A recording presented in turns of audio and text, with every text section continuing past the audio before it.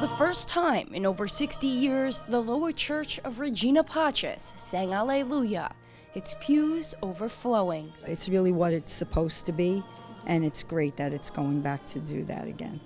After decades of serving just as a bingo hall and a basement, the holy space was revived to its former glory. Not only a chapel, but a columbarium, the first in the Diocese of Brooklyn. I think it's a good good sign that we are going to use worship space.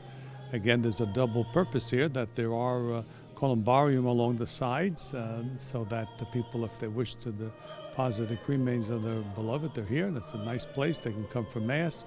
Uh, it's in, in, a church. A, there's, this has been done around the country. It's not the only place that this, but it's uh, unique for our diocese. In April, I visited with the pastor, Monsignor Marino, and saw the space peacefully retiring before its time. And the results are simply divine. I deliberately didn't come to see it because I wanted to see it new, like the, for the first time today, and I'm just thrilled. I'm so thrilled. It is beautiful. And now, only seven months later, St. Joseph's Chapel and Columbarium is almost ready.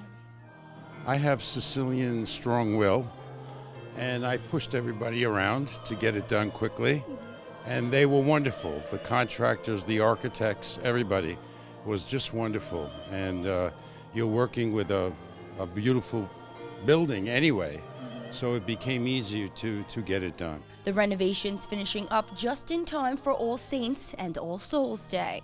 Many saints before us built this church, lower and upper, and uh, I'm sure they're looking down on us with pleasure.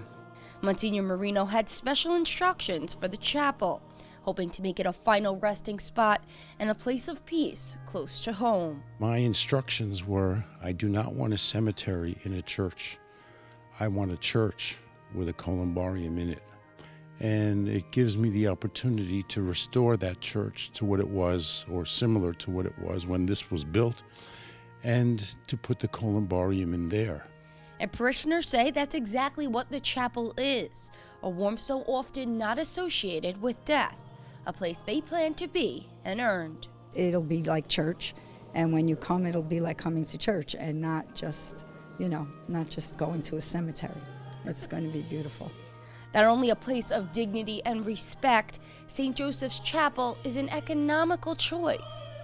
Well, it's an option. It's something, an alternative. We have in our cemeteries. Uh, we have ample space there, but this we'll see what happens as it develops. So we are giving a 10-year moratorium. We're not going to do any others for at least for 10 years to see how this works. Traditional Catholic burials can cost upwards of $15,000. A cremation and a burial of the ashes here will begin at 5,000. Reporting for Currents, I'm Michelle Powers.